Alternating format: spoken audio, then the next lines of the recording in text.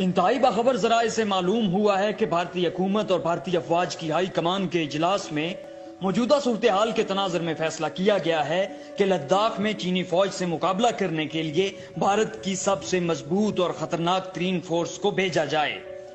इस फोर्स की ताकत का अंदाज़ा इस बात से लगाएँ कि आज तक जिस मिशन पर भी ये फोर्स भेजी गई वो कभी नाकाम नहीं हुआ।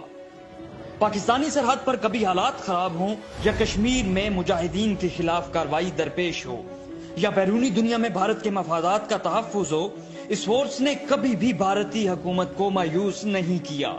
इस खतरनाक तरीन फोर्स का नाम है बॉलीवुड फोर्स।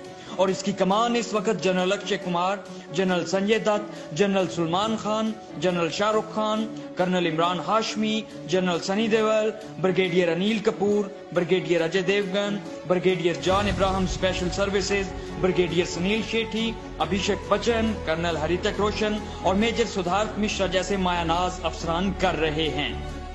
ये मालूम हमारे undercover agent major Adnan Sami ने पाकिस्तान भेजी हैं। हम इन्हें सलाम पेश करते हैं।